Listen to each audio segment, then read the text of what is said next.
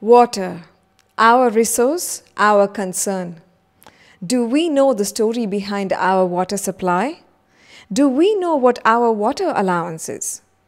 Do we know how much water we consume every day?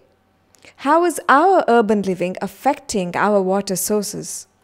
Here is an eye opening conversation with sustainable water solutions expert Avinash Krishnamurthy.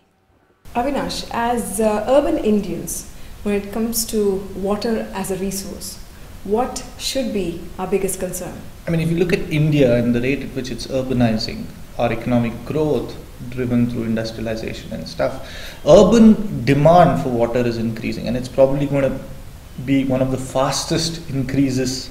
And therefore, how do we manage the water in the city is going to be an increasingly challenging question.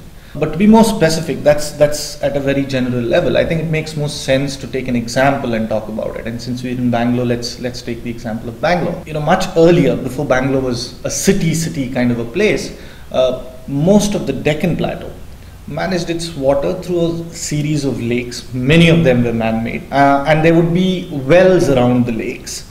Uh, the lakes would play multiple roles. They would they would recharge groundwater, and domestic water would be driven by these wells. You would withdraw water from the wells and use it.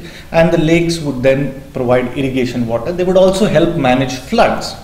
But then over time, we've moved to a situation where, where this water is supplied, you know, it's centrally supplied. So again, in Bangalore, Hesarghatta, the Hesarghatta lake, which is now virtually bone dry, was the first reservoir which supplied water to Bangalore. And Hesarghatta is now around 30, 40 kilometers from Bangalore.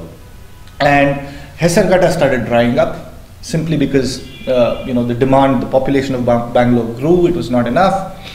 After Hesarghatta, we moved to Tippagondanahalli, which is around 70 kilometers from Bangalore, and now we've moved to the Kaveri, which is 100 kilometers away, and it's 500 meters below Bangalore, and we are therefore pumping from the Kaveri to Bangalore about a, a height of 500 meters upwards. upwards. So that's the kind of uh, job that the BWSSB is doing to deliver water to Bangalore.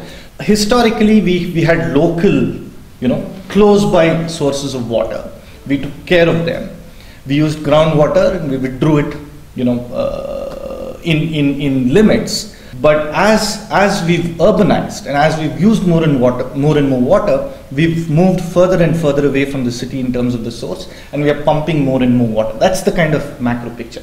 At the same time, what's very important is every drop of water you take, you're throwing out as wastewater. So what's happening there?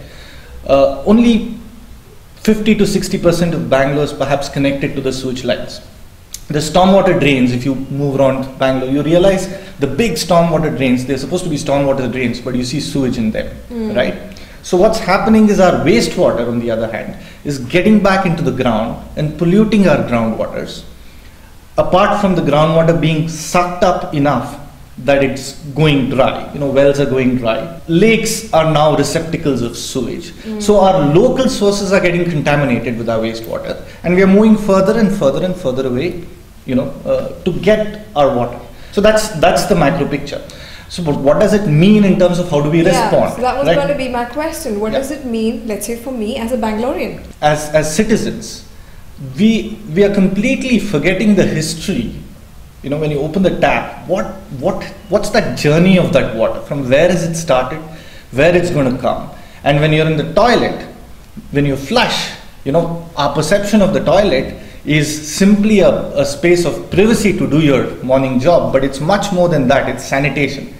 And the journey of water after you flush what happens? Where is it going and what, what's happening to that? I think it's increasingly important that we as citizens begin to engage with that journey and try and understand with that journey and see what the implications of that journey is in terms of our own practices. The town planning norms say that every person should have 135 liters per capita, that is for each person.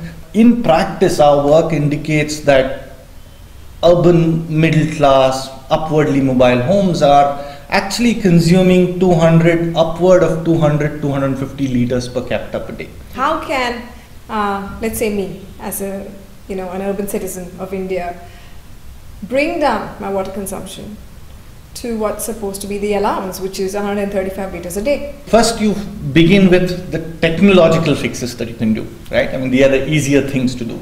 Go look at your taps and see if you're using the most efficient taps. Look at your flush. Uh, do you have a part flush? I mean, and do you use a part, you know, when you flush, when you go for a leak, do you use the full flush or the part flush? I mean, little things like this. Can we start taking our wastewater why should we mix water going down the toilet and our bath water? They are completely different qualities, you know, just soap water. Mm. Can we find ways of treating them very locally and reusing them? Why shouldn't what you've used as a bath? I mean, there's, there's the story or, in Rajasthan. The, you know, or in the washing machine. Absolutely, the, what, what goes out of the washing machine? Why shouldn't it go to the flush? You know, and there's this story in Rajasthan. It's a very famous story in the water sector. People who work in the water sector, that you know they have a bath on a charpai and collect the water that falls you know below the charpai mm-hmm. so that that water can be reused for some other secondary purpose essentially the principle is that it's just that we have to start building our cities to do that which means our homes need to be built that way our laws our policies our urban you know building bylaws need to gear up to that our plumbing systems need to change that we also need to find solutions for already built buildings because our cities now already have an enormous amount of built up stuff. So I think you know the bottom line is our attitude at an individual level has to change. Absolutely. Have firstly the change at that individual level, but that can be ratcheted up with knowledge, with technology. Technology again without mystifying it, you know, with, with, with simple technology and then with policies and laws. Avinash, thank you so much for coming on Chai with Lakshmi uh, for making me a very beautiful cup of tea and for sharing some very interesting insights into water as a resource in the urban context today.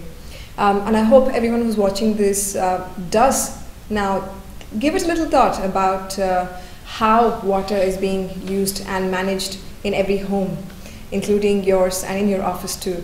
And if you'd like to find out more, maybe even consult with someone like Avinash, uh, on how you can manage water um, at an individual level, do get in touch with him. His email address is avinash at biome-solutions.com. Thank you for joining us on Chai with Lakshmi.